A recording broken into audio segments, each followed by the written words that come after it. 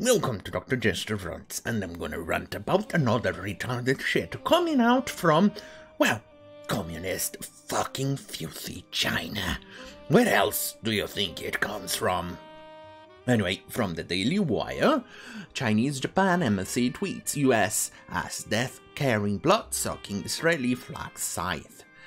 Well, this is also present. Thank you from for this ground news. This unfortunately it seems only to be covered by the normie or left-wing newspaper only on Business Insider, but they still try to well shove in the white supremacist kind of bullshit in it, but overall it's only being covered by Jewish Journal, Breitbart and the Daily Wire so far. Anyway, let's go and read the news. The Chinese Communist Party embassy in Japan, evidencing its hatred for the United States as well as its own anti-Semitism, tweeted a cartoon showing the United States as the Grim Reaper brandishing... Stop! Whereas I uh, hate those autoplay videos. Uh, uh, showing the grim brandishing a blood-soaked Israeli flag site as it knocked on the door of Muslim countries with the caption, If the United States, if the United States brought democracy, it would be like this. Mm. No, no, no. Oh, uh, uh, if the United States brought democracy, it... no, No, no, no, no. I can't do the Chinese accent. The cartoon posted late on Thursday afternoon featured the Grim Reaper dressed in the of stripes knocking on the Egypt's door. South Morning China noted. Hmm. So, Ground News did not share that it... I'm still hunting the goddamn filthy mosquito. I'm gonna fucking kill this. Moronic shit when I'm done with the videos. And the problem is, this makes it hard because I got a stiff neck from my goddamn filthy pillow. Anyway, this is what they tweeted. This is a disgrace. China, you're a disgrace.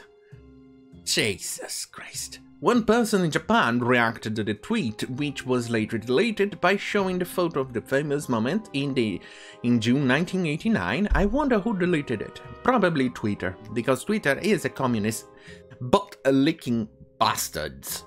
Anyway, in June 1989 in Tiananmen Square, when one man faced off against a column of Chinese communist tanks, writing, this is what happens when you bring democracy to China. Someone else from Japan altered the embassy's tweet by showing the Grim Reaper dressed in the Chinese flag and knocking on the door of Taiwan while showing the other countries as Inner Mongolia, Xinjiang, Tibet, and Hong Kong. Yep, that be correct too. Anyway, the Simon Wiesenthal Center for Rabbi Abraham Cooper responded there are no accidental tweets by senior Chinese diplomats. Classic ugly attack on the US and Israel. The true Grim Reaper is the Chinese Communist regime. Exactly. They have a certain um, type of disease that is spreading throughout the world, which I blame completely on the Chinese Com Communist Party and its crime against its own citizens, insulting and frightening that Beijing deploys anti-Semitic imagery.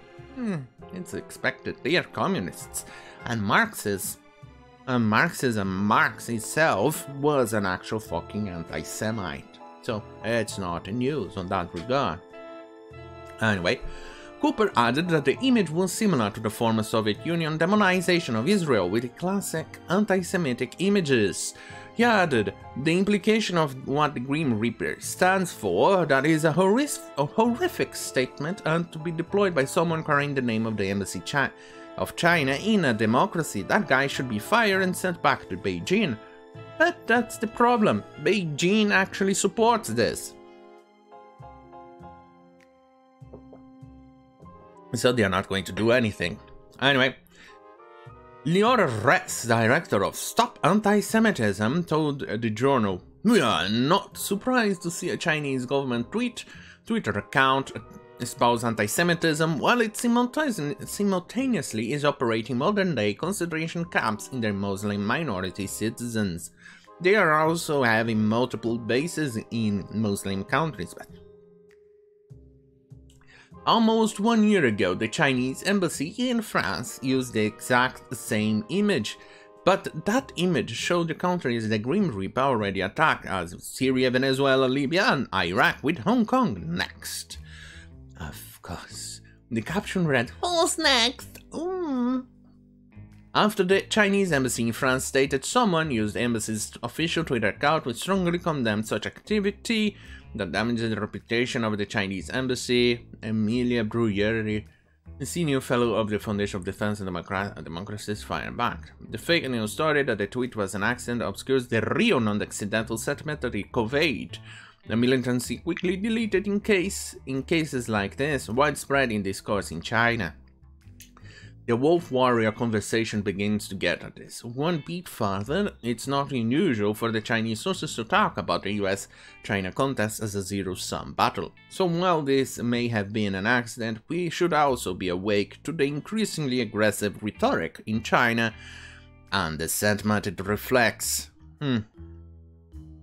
Not surprised there, considering how goddamn China operates, huh? That the ideology behind China is as we all know. We all have seen it. It's based on Marxism, so socialism. All that ideology is based on is anti-Semitism, racism, discrimination, death, and human suffering. How that ideology keeps on spreading is beyond me, but people are absolutely retarded on nonetheless. So, they go on and keep believing in things like that like he was, well, was Santa for kids. I actually believe in all of these things. Mm, I was discussing with a guy on Reddit over this, and he suggested a cancer type treatment on sociology or mm, social socialism. And in that, mm, you need to be direct, you need to go after it like you're treating cancer. And when it's gone, you need to still monitor it, and when it surfaces, you need to go and use chemotherapy on top of it. And I think that I have to agree with it. But how would we do that without infringing on people's rights and free speech? I do not know. And uh, it's a problem because people are absolutely retarded. Maybe more education with more speech in that case, in which people need to show the effects of socialism in society or what has happened, or what has given. Maybe inform people based on what Karl Marx actually believed, which was anti Semitism, um, complete and total discrimination, actual racism. He was very racist against blacks. Imagine seeing a bunch of black people wearing the t-shirt of a Karl Marx, or spouting his nonsensical bullshit, or in that uh, there's nothing to lose but our chains. Excuse. But all of those things comes from Marx, and they still parrot it.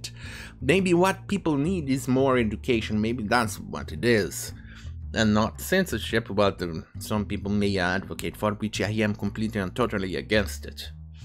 And probably show to those moronic of the neo-Nazis who are actual socialists as well, that Karl Marx was an anti-Semite like them, and they are in fact parroting the same excuse as he does and that communist and the communism in Russia was not led by Judaism or Jews. In fact, they got purged.